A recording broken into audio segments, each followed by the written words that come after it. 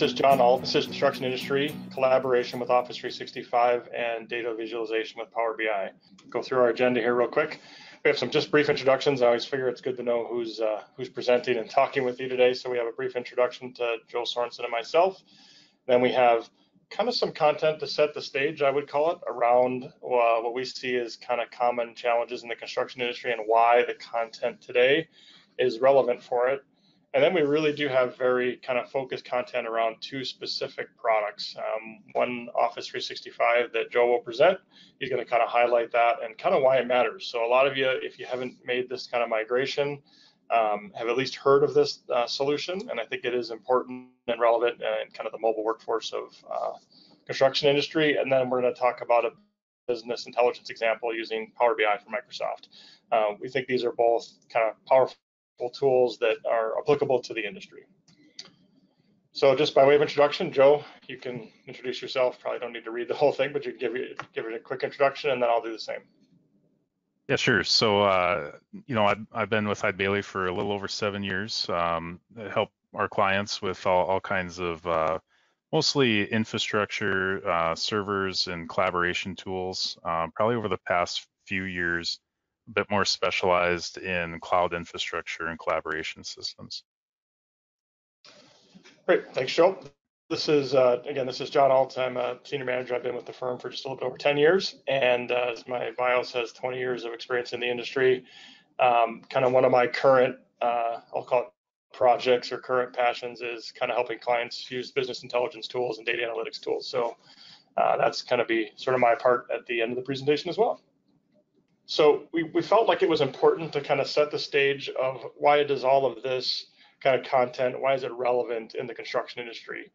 And we wanted to highlight a few things. I think that you clearly have in the construction industry a highly mobile workforce. So you have a large percentage of employees in, in many environments are not necessarily you know sitting at a desk all day the way maybe we are at Eide Bailly if we're doing work for clients, that kind of thing. Uh, so we do think that that is that does present some unique challenges. The solutions you put in place kind of need to support that type of workflow or that, that type of environment you have kind of often disconnected users. So you have this need to be able to work in a disconnected fashion in remote locations, especially uh, in some of our geographies. So we feel like uh, that, that disconnected nature of the users is uh, is somewhat of a challenge and not 100% unique to just construction, but it is one of those things that that makes uh, the deployment of technology and construction a challenge. Oftentimes, you have a lot of concurrent projects going on. Certainly, I would guess that uh, most of you hope that that's the case. Uh, so kind of managing the complexity around that becomes a challenge. So we have um, kind of some applicability of the tools for that as well. And then also that kind of disparate and non-integrated system. So we've kind of got a lot of systems. I've seen places where we've got one system to do estimating, another one to do project management, another one to do uh, kind of my your finance, those kind of things. So some of the tools we'll talk about today can be used to kind of integrate and collect um, and present the data out of multiple of those systems at the same time. So I feel like um, that's those challenges are some of the things that uh, the tools we'll be talking about today help uh, help our clients address. In kind of prepping for this discussion, uh, one of the things that I think really jumps out is that, and this is 100% my my quote here, but the construction as an industry has a long history of, and I put it in quotes, underinvesting in information technology. So if you look at some of these other industries, I do a lot of work in the healthcare arena as well. They're kind of in the middle on this chart. Um, but I think this chart is somewhat telling. You look at the construction industry, and this is as a percentage of revenue, is at the is really at the bottom. Now you'll find this metric. Sometimes it's going to be per FTE. Sometimes it's going to be you know a few different ways that we'll measure it. But I don't think that you can look at about any study and you'll find that the construction industry largely lags behind in their investment in technology. Now, that's not meant to be critical. I think there are a lot of reasons for that. I'm not suggesting you should go strive to be at 7% like a bank uh, anytime soon. But I do think it's important to understand that kind of as an industry, we're maybe not quite fully taking advantage of technology. And uh, there are lots of opportunities for improvement in, uh, in a lot of our clients, we, we feel. I also think it's that that lowest uh, that last point, excuse me, is also an important point to make in that you really need to. I think it's important to understand that um, it doesn't have to cost a lot of money. So in that nature that says, look, if our business model only supports that 1.5 ish percent of, of investment in technology, it becomes all the more important to get a lot of bang for your buck, if you will, and get a lot of value out of those technology investments. So in kind of the modern world with cloud services and the ability to kind of share the cost, if you will, across multiple uh, clients, it's fairly easy for technology companies to deliver this in a manner that can can fit into some of those constraints that are, are common in the industry. So for our uh, content today, we're going to explore two specific Microsoft solutions. We're going to explore some kind of collaboration and communications content. Uh, that's what Joe is going to do here next. He's going to talk about Office 365, and I think that you'll all find that um, that there's definitely some applicability from your uh, industry perspective. I also want to highlight that as you look through that, I think we we find a lot of clients are using this tool set today, so they have Office 365, but are maybe underutilizing it. I mean, they haven't taken advantage of everything that they're paying for. So as Joe goes through goes through that content, I think it's important to understand that uh, that maybe even if we already have it, uh, there's probably some things we could do to extend our use of the tool set and get more value for the the dollars that we're already spending on that. And then we're going to talk about what we've labeled timely business insights. This is really kind of business intelligence. And we're going to talk about a, a somewhat related product, I'll call it, to Office 365 from Microsoft called Power BI. Uh, we'll have some content just generically around business intelligence and why it's relevant and why it's important uh, for most businesses. And then we have a couple of uh, construction industry examples. They're not commercials, they're not Eide Bailly solutions even. Uh, we do this kind of work, but we've picked a couple of publicly available, Microsoft calls them partner showcases, to kind of highlight the types of things you can do uh, um, with a, a, tool like Power BI. So Joe, I think uh, it's it's your turn and you're going to cover Office 365. Yep, thanks, John. With our time today, I just wanted to cover, you know, what is Microsoft Office 365 and how is it uh, different from traditional software? I'll dig into a few of the collaboration tools in Office 365 and some of the security solutions Microsoft has built for securing the data in the cloud. When we use the term Office 365, it's really just used to describe a suite of different Microsoft cloud-based products. And uh, the primary uh, products listed here are Exchange Online. So uh, this is email service. Many organizations are familiar with Microsoft Exchange Server.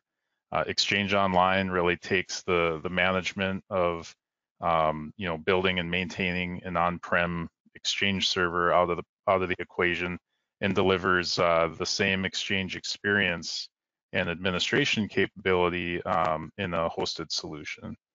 Um, OneDrive for Business is uh, is Microsoft's personal file storage uh, solution, and SharePoint Online is uh, is used for file storage in more of a team setting and can be used as a, like a company-wide intranet to distribute data for others. Skype for Business. So Skype for Business is, you know, your instant messaging, uh, online meetings, video conferencing tool. Skype for Business is actually going away and being replaced with Microsoft Teams. So we'll we'll touch on both because both are still being uh, used. Microsoft Teams includes some additional features um, like like file storage and sharing uh, between group members. Um, sort of starts to integrate some of the other systems in Office 365 into a single application. Office Online, what we're referring to here are the you know applications we're familiar with like Excel, Word, um, delivered through a web browser. So no installation of the applications on your computer, uh, but the ability to use those familiar apps right in your web browser. And then of course, the uh, traditional Microsoft Office desktop apps can be uh, you know um, delivered through Office 365, installed on your computer, and uh, we're we're probably all familiar with the use of those. They're just delivered in a in a little bit different way. Office 365 is available in multiple plans, so each of these products is um, available as a standalone product, uh, but you know Office 365 is taking these products, piecing them together into different bundles uh, that might suit an organization or individuals within that organization. Uh, Microsoft categorizes these into two main tiers, the business tier. Uh, they used to call this a small business tier. They, they dropped the word small. Um, so it's just business and enterprise. And really, the differentiator here, business plans can go up to, uh, in organizations up to 300 users. Business, you know, organizations with less than 300 users can still use plans in the enterprise tier, all the way down to, you know, single user organizations can use an enterprise plan. It's just sort of how Microsoft has structured the different bundles. So how is uh, Office 365 different from traditional apps? Well, one of the key features is it's always up to date. So you don't have to worry about updating your applications. As features are, are developed and, and released, they're automatically pushed out. Um, so if you're using Microsoft Word, for instance, you may receive a, a little notification saying updates are available and you can just allow those updates to take place. You know, so rather than going through, you know, uh, Office 2010 and 2013 and 2016 and now 19, really, uh, that's just becoming the Office product, and uh, and these apps are just being uh, updated continuously. Likewise, the server side components like Exchange or SharePoint, you're no longer having to, you know, regularly maintain, uh, patch, update these. That's all being done on the back end for you. Um, so that saves uh, obviously time, um, downtime, and uh, a lot of the, that management IT overhead associated with that. Another key feature of Office 365, because it's cloud-based, you can access uh, Office 365 uh, solutions anytime from anywhere. There's no VPN required, so you don't have to connect to the office and then get to your data from there. Um, you can just access that through a, a, PC, a Mac, a tablet, or a phone. You know, Office apps are available for Android and iOS mobile devices. Um, so when you're when you're traveling or out in the field, uh, it's easy to get to your data in Office 365. Uh, and then of course, document sharing.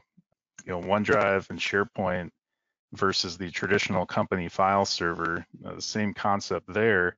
Uh, putting your files in somewhere where they can be accessed all the time uh, versus you know stuck in a file server where you have to be either in the office or connected to the office through VPN to get to those files. You can share documents internally and externally.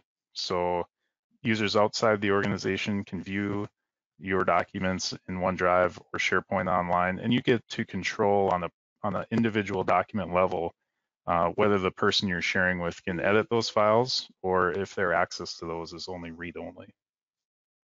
All right, uh, that brings us to polling question number one. Awesome. Polling question number one, true or false? With Office 365, your product will always be up to date, unlike the traditional app.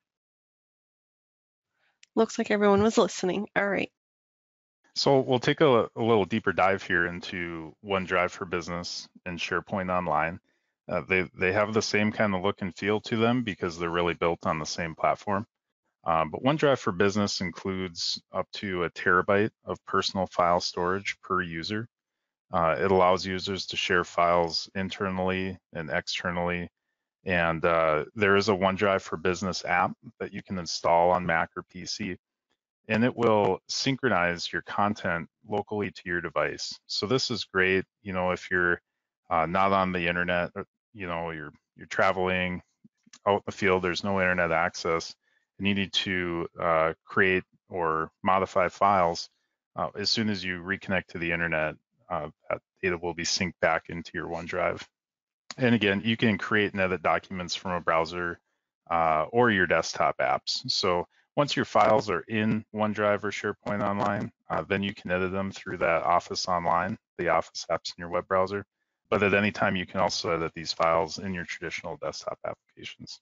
SharePoint Online builds upon the functionality of OneDrive. It's designed more for uh, you know groups of users to share data amongst one another. So team sites and SharePoint are sort of the go-to for file storage, maybe some news updates or job calendars.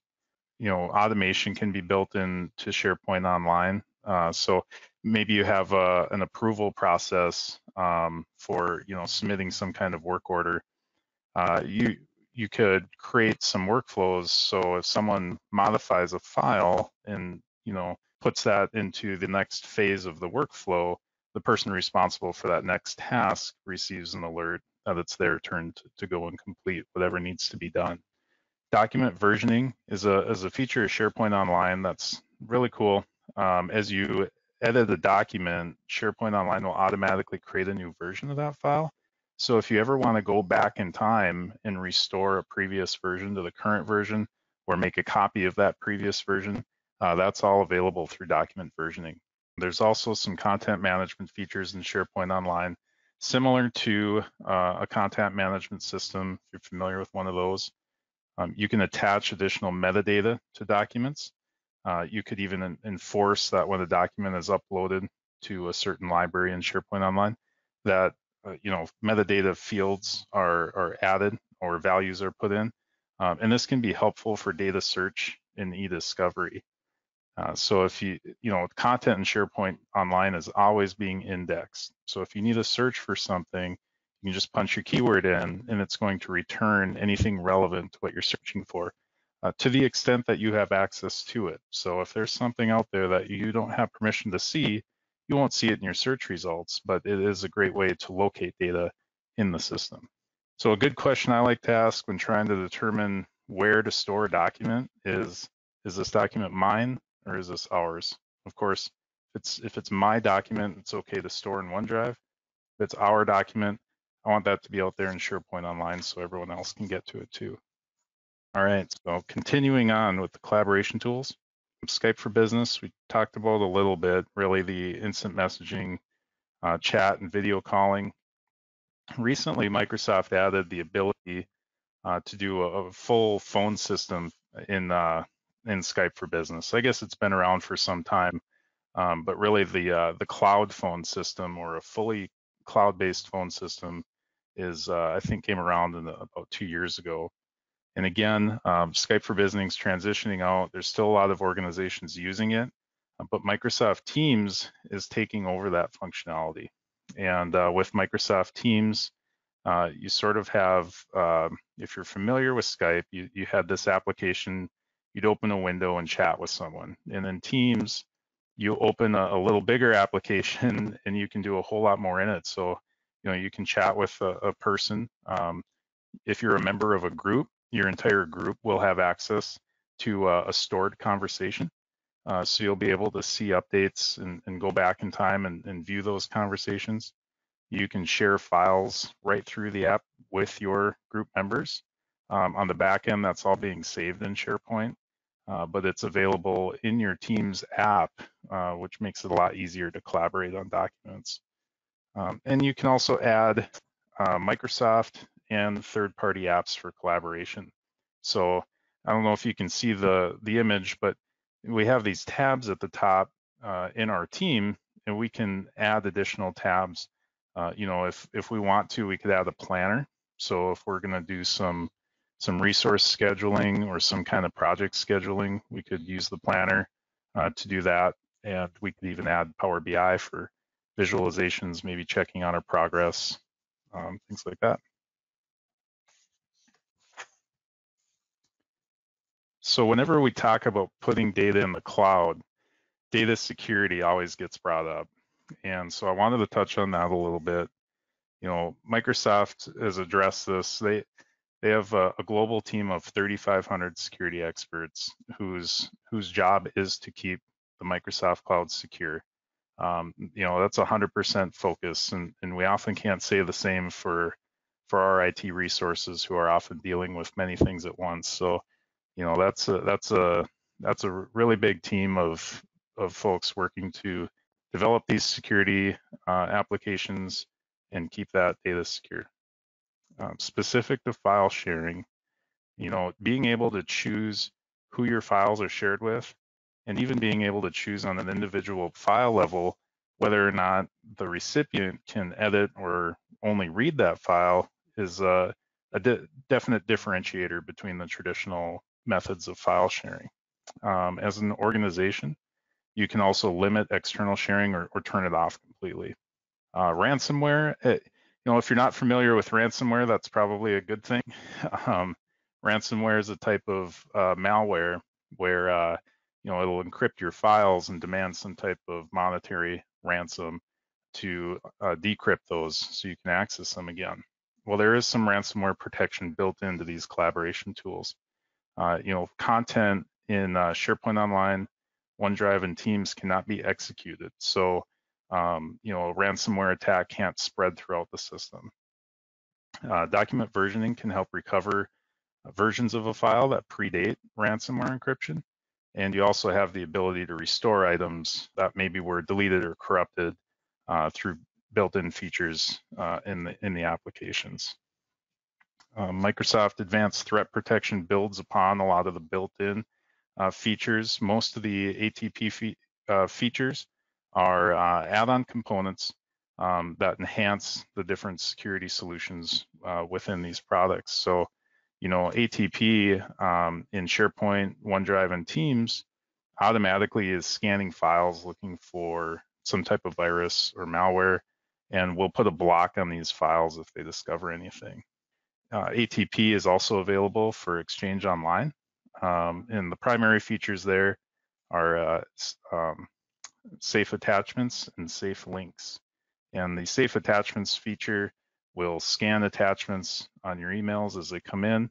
It actually will execute these uh, files and monitor behavior to determine if they're doing things they shouldn't. And if they're not, you, you can strip those attachments out and send a notice to the uh, the recipient that you know someone tried to send them something that may not be safe. Similar, the safe links feature. If someone were to embed a link in a in an email they send you, Microsoft will rewrite that link. So if you click on it, won't actually take you directly to the site.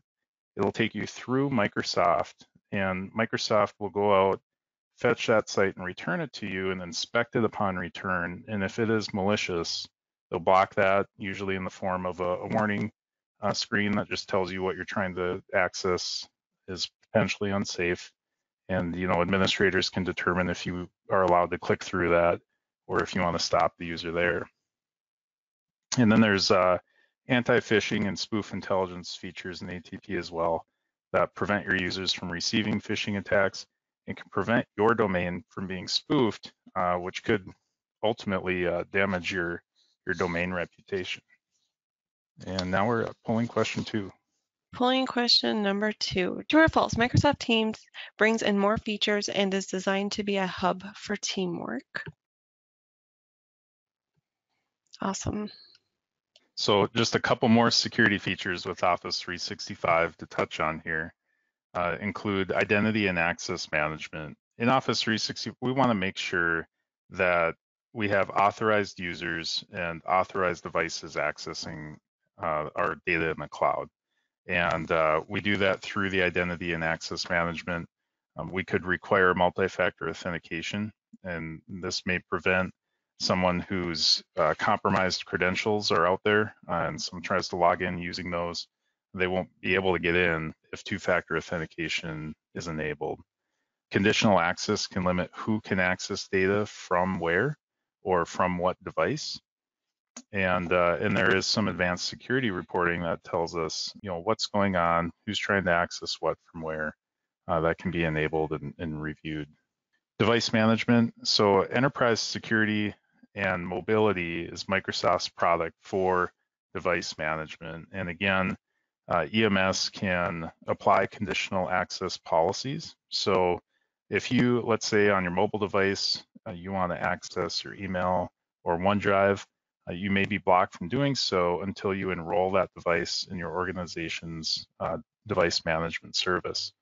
And, uh, and this, uh, you know, ensures that the device is with the person that it's supposed to be and uh, allows you to assign some different you know security controls over that device um, such as encryption uh, maybe limitations on copying pasting and saving from documents and uh, of course you can you can perform a device or an application level data wipe if uh, if that device goes missing finally uh, data loss prevention is really the practice of identifying and blocking the sharing of sensitive information. So um, Office 365 can, can look for characteristics within content such as um, you know credit card numbers or social security numbers.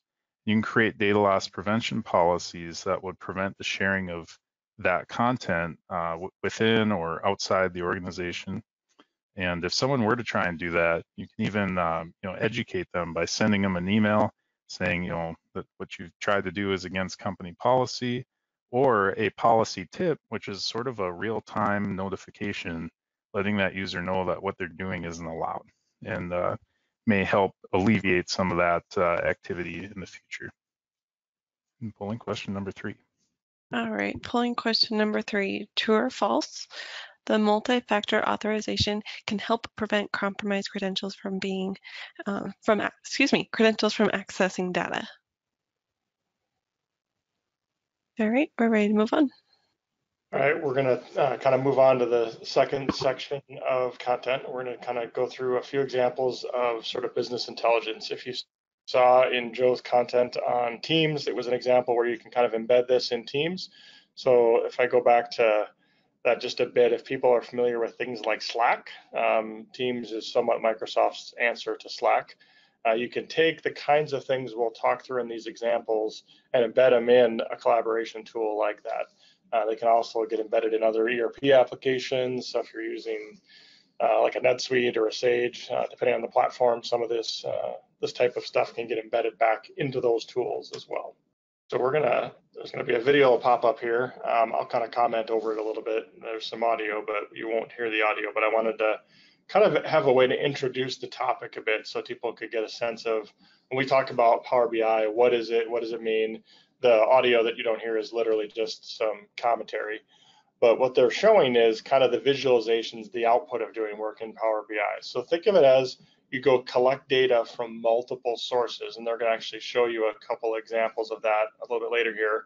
Public sources, it could be your website, it could be uh, your ERP system. So I think they use um, uh, some search analytics. So this is Google Analytics. This is visits to your website. You can all those kind of things. So think of it as assembling data from all over the place and then visualizing it to kind of tell a story to say, oh, this is something interesting about kind of your business, your operations.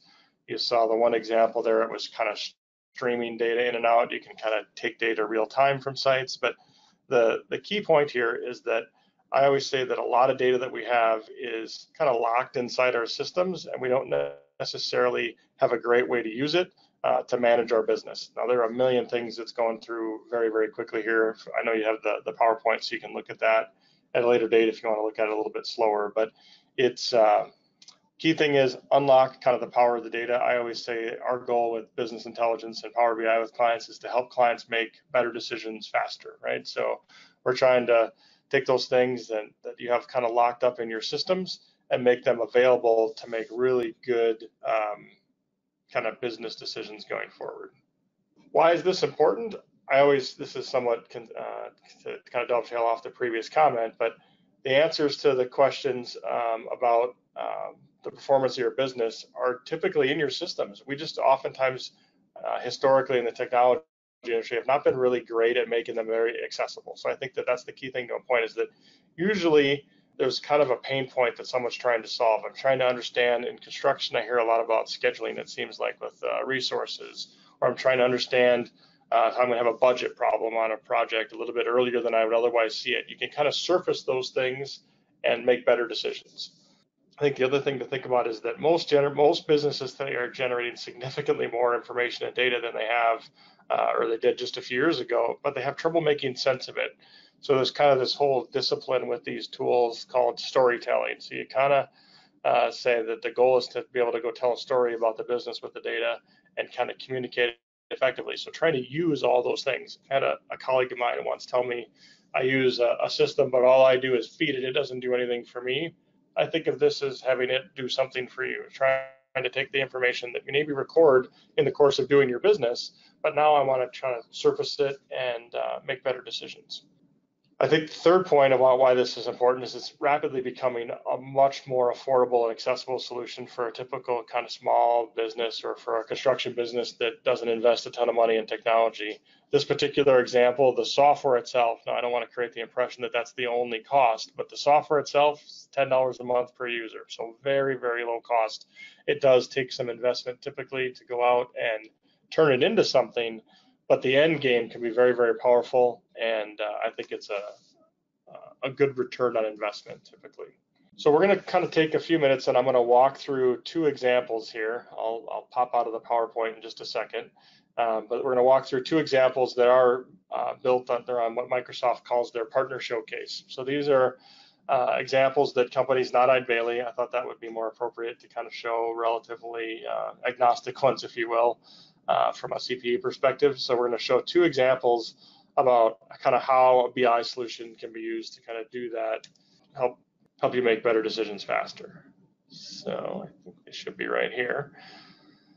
This first one, and again, these are kind of blinded generic public examples, but I thought that they were kind of relevant for the audience. So if you look at, if you think about this particular business, they clearly have kind of three different uh, main lines of business. They have residential contracts, they have industrial contracts, and commercial contracts. So typically, we'd maybe go run a report out of our uh, kind of ERP or our management system, and you'd kind of have to dig through it to find the information, all those kind of things and they've got three years worth of history and you've got um, multiple months. But think of it as a way to kind of slice and dice the information and sort of interact with this palette and say, well, what's what's interesting about the business today?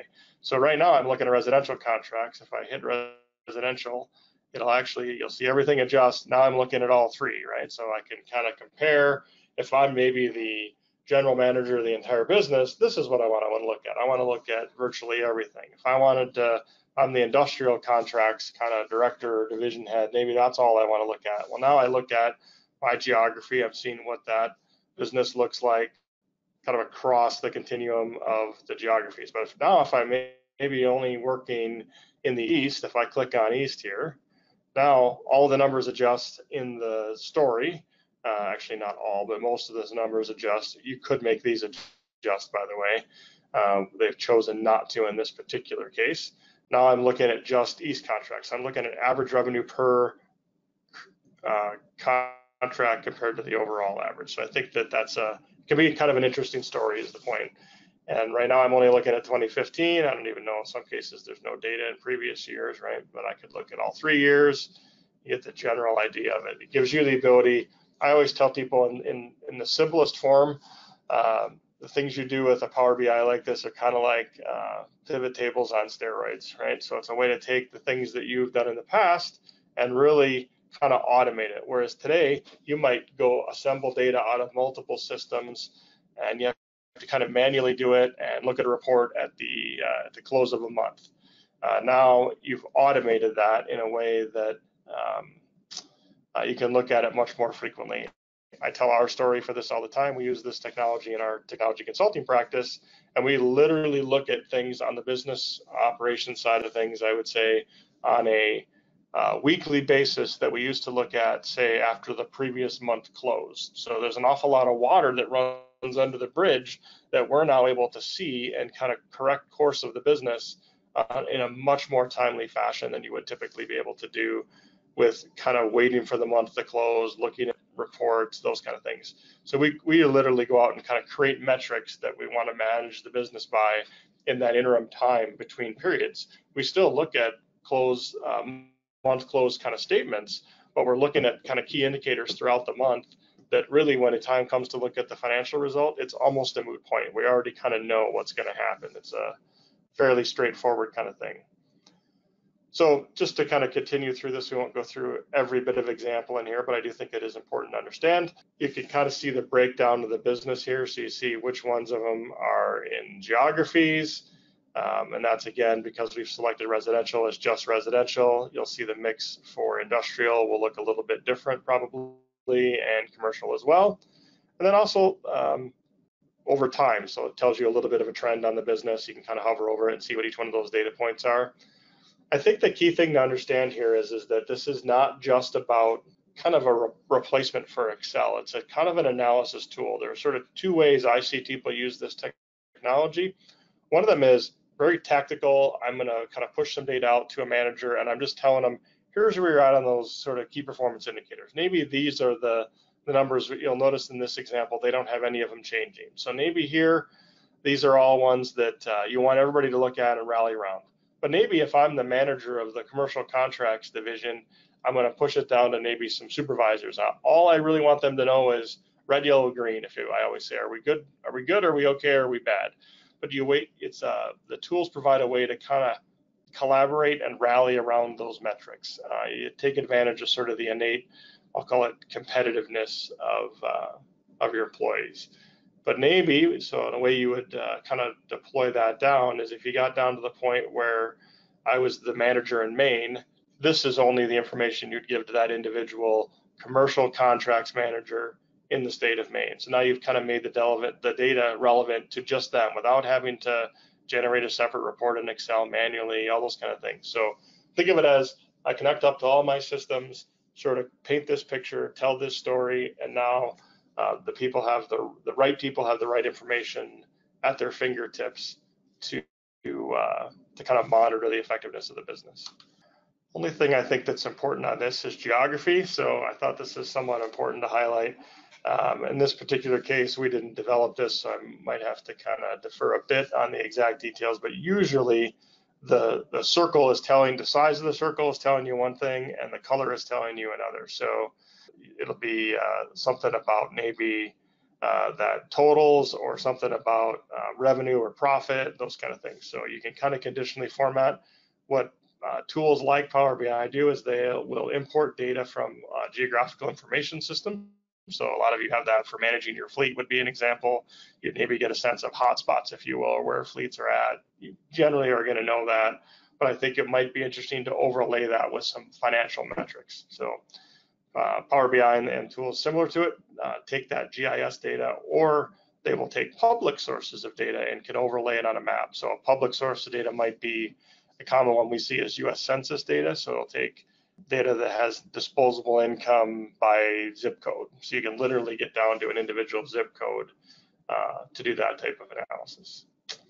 So that's the first example. Get out of that one. I'm going to pull up the second one.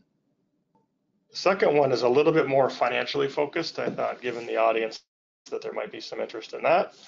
Um, so this is probably going to be more interesting to folks who care about um, a little bit more financial reporting. I want to caution you a little bit that these tools are not intended to be kind of your your complete financial reporting solution, if you will, but they are good for pulling out some of those uh, KPI metric kind of things. So in this case, I mentioned before that you might want to see uh, see a few kind of highlights. I think of this as if I'm presenting to a board of directors and you really want to know, well, what does revenue look like? Well, here's what revenue looks like over time, gives you a little bit of a trend. The way that this is visualized in Power BI, this is telling you what the number is. Green tells you it's good, red tells you it's bad, obviously. But revenue is generally trending up, is what this tells you. So that's kind of their way of visualizing that. Same thing with profit. Profit is trending up, so we're heading in the right direction, but we're behind target right now. So you get kind of the general idea of things um, I think that this is a good example of a fairly high level. How do we look at it? So if you've got kind of leaders that maybe aren't that engaged in the financial details, you can give them something like this and it would update, I always say automatically, right? So you don't really need to spend a lot of time thinking and working through it.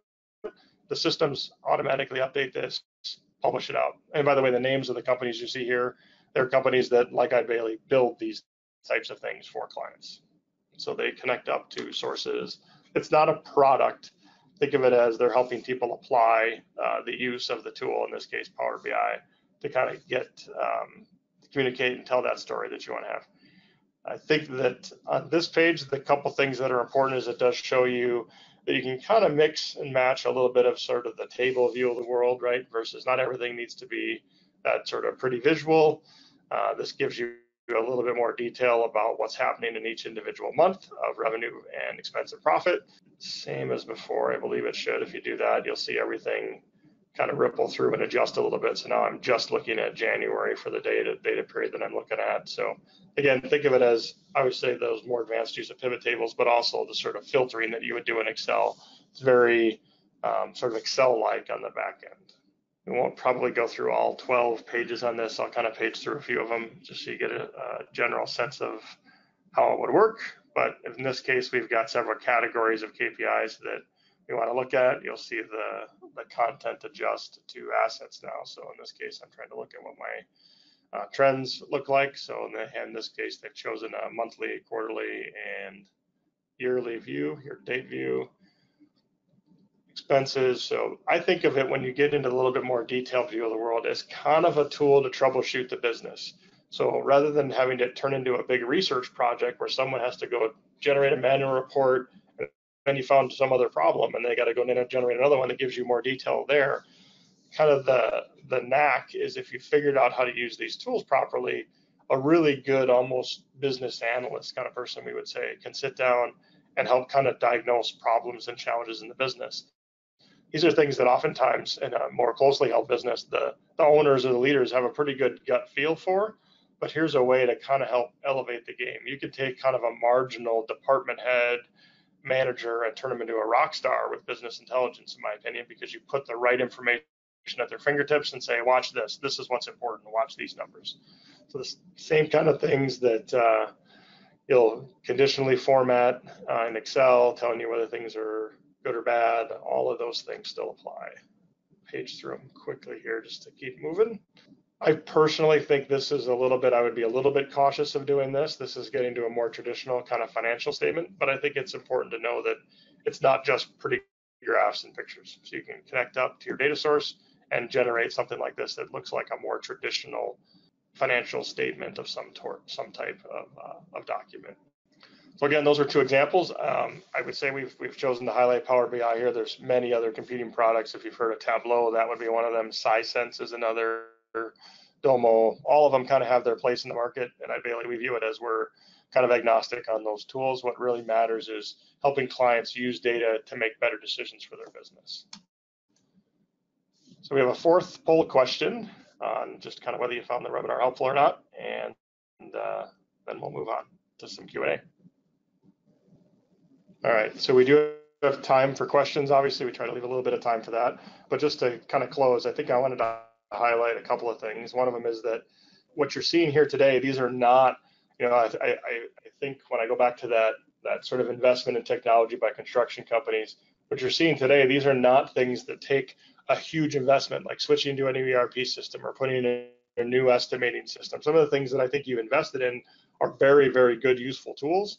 I think what we're talking about today are things that kind of support collaboration around that data and collaboration around the content that you use to generate um, uh, kind of activity in your business. So I, one of the messages I think it's important to, as a takeaway from this is that sometimes tools that you already have, or, excuse me, or can be had at a very low cost could be leveraged more effectively uh, to kind of produce value for the business. And hopefully that uh, today's session has kind of highlighted some of that for you. And with that, if there's any questions, I haven't seen any in the box so far, but if there's any, if people want to type them, we'd be happy to, to ask anything. Otherwise, uh, thank you all very much for your time today. We appreciate it. Okay, well, I don't see any questions, um, but if you guys do have anything, feel free to reach out directly to Joe or John, and they can help answer any questions and provide more information if needed.